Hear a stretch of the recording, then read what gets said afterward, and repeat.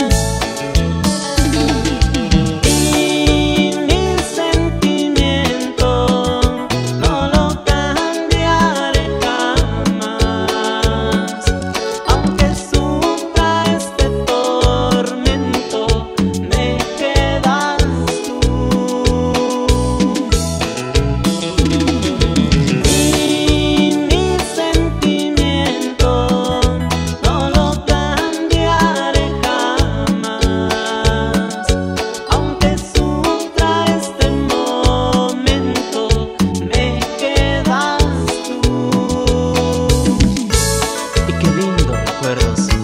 Y para ser exactos, 1975.